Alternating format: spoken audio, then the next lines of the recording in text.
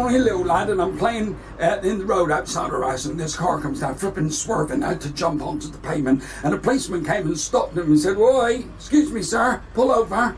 He said, "At the car." He said, "I'd like you to blow into this," and he said, "No, I can't.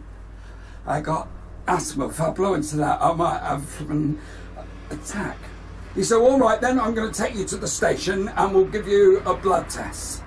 He said, no, you can't do that.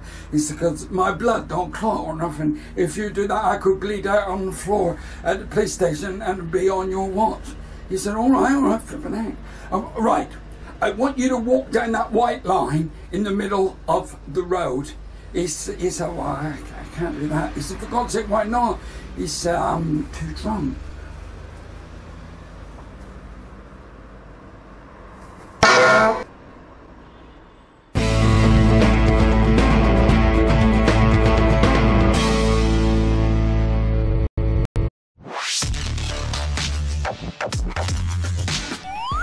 Thanks for watching that video, and if you'd like to see more, then just click subscribe, and you'll be notified of all my latest video uploads. I'll see you soon.